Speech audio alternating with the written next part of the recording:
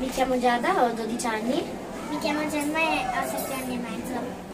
Eh, mi è piaciuto mh, il fatto che c'erano molte rime. Anche a me.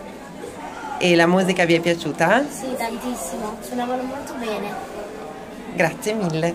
Ciao. Ciao.